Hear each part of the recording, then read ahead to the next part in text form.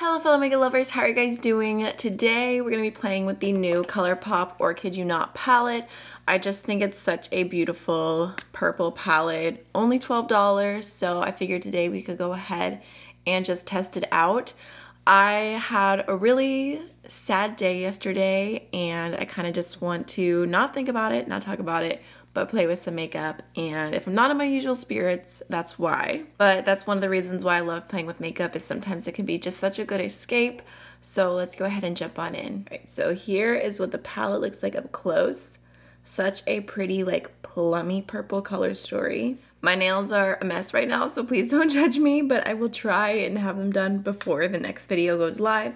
So the first shade that we have here is called Pretty One, and it just looks like such a stunning like lavender silver kind of shade.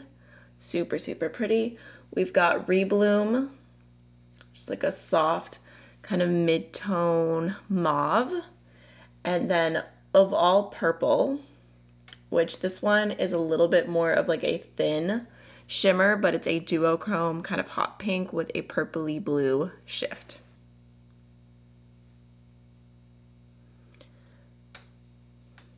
ColourPop shimmers are not typically my favorite. They're definitely a little bit more lackluster than what I love, but sometimes when it's something like this and the color story is just so cute and it's so affordable, I kind of just go for it anyways, and if I need to, I'll pull in some single shadows, but this one does look really pretty. I bet with a glitter primer, it would look amazing. And next we have the shade Moth.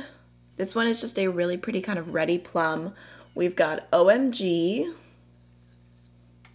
which is another duochrome.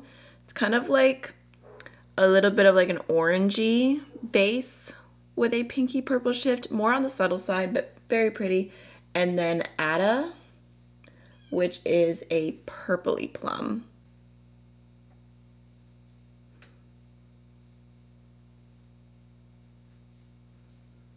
Okay, next we have the shade Buddies, which looks like such a pretty cool tone purple matte. I just really, really like the tone of that. We've got Seedling, which is kind of like a deep brown base you can see there with a burgundy shimmer running through it. And then lastly, we have Nuh-Uh, which is a super deep plum. I feel like the mattes in this palette are what's really standing out to me. So there's all the swatches. I think it's swatched okay, nothing like overly impressive, but I do really like the color story. If I remember correctly too, Amanda from Makeup Just for Fun did a review on this and she said that it actually swatched better with the brushes than with fingers. So I'll make sure to link her down below in case you want to check that review out as well. Okay, so I'm to start off with the shade Rebloom, scrubbing that on a big fluffy brush. And I'm to put that all the way through my crease. I mean, the pigment is real because normally when I go in with this brush, it's the Sigma E40. It does tend to sheer out shadows to begin with, just because it's such a big fluffy brush. So I feel like that looks pretty good. It's actually pulling a little bit brighter on the eyes too than I was expecting it to. I think next I'm to go into the shade Ada and I'm just to put that all the way through my crease. Oh my goodness. Looks so good. Like the pigment and just the shade is so pretty. Blending pretty easily too. I mean, dang, that was quick. I'm taking the shade Nuh-Uh, a little bit of that and tapping off the excess. And I'm gonna put that in my outer V. Just feel like these shades are so pigmented. They definitely look better on the eyes than they did swatched out. Like, I mean, I haven't tried any shimmers yet, but I'm feeling like this palette is worth it for the mattes alone. I'm just gonna go into the original fluffy brush that I went in with and just start going over the top of the crease, just making sure everything's nice and soft. I think I'm gonna go ahead and take the shade Buddies for my lower lash line and I'm just gonna grab that on a eyeliner brush. So I'm gonna start off and do that as close to my lower lash line as possible. Bring up the pigment just a little bit.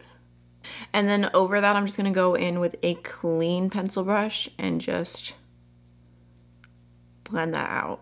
I'm being a little indecisive right now, but I'm pretty sure I'm gonna take of all the purple and I'm just gonna throw that on my inner corner. I was thinking I was gonna do that all over the lid first, but I just think that the duochrome will stand out more on the inner corner. Yeah, that's pretty. And then I'm going to use this shade Pretty One all over the lid, but I'm going to start off with some NYX Glitter Primer first just because I feel, just knowing ColourPop's formula, that I'm going to need it in order to achieve what I would be personally happy with. You could wet your brush too if you didn't have glitter primer. Just going with a little bit of NYX Glitter Primer all over the lid.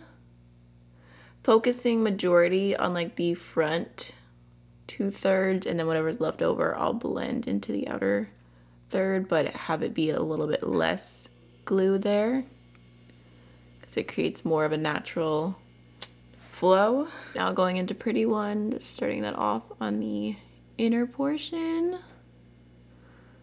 Oh, so pretty. And then just taking whatever's left over and bring it to the outer third.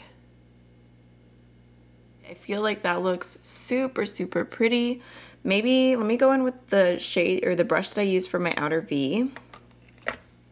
With the deepest shade and just lightly go over that. Definitely gonna use the Nabla Cupid's Arrow Arrow number three liner to add that extra little burgundy moment in my waterline throw on some mascara and I'll be right back. So for my cheeks, I already went into the ColourPop Just a Flush cheek palette and I used this bronzer and then I used a combination of both blushes just because they're like a really pretty mauve tone. I thought they would go with the eye look. So I did that before I even started. I figured I'd also go ahead and use this highlighter today, which is super, super intense. So I'm just gonna go ahead and throw that, oh goodness, very sparkly on the tops of my cheekbones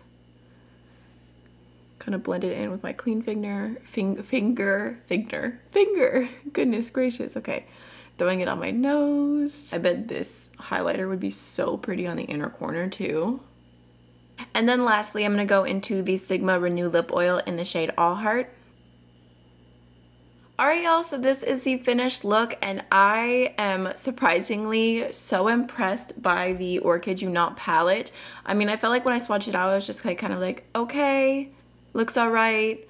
Really just excited about the color story, but then using them on the eyes, like I feel like the mattes in this palette are so pigmented and like just like the perfect kind of plummy purpley tones, like the depth, the easiness to blend. I was just super, super happy with that. The shimmers, although I only played with two of them, I think that they look nice, they look decent, and the shade all over the lid with adding that glitter primer, adding a little extra help, I think that it looks pretty bomb. Like this look out of a $12 palette cannot complain at all. I definitely see myself reaching back in here for the matte specifically. Can't wait to play with this more. I'd be curious if y'all picked up this palette, what you're thinking of it, and I will see you in the next one. Bye.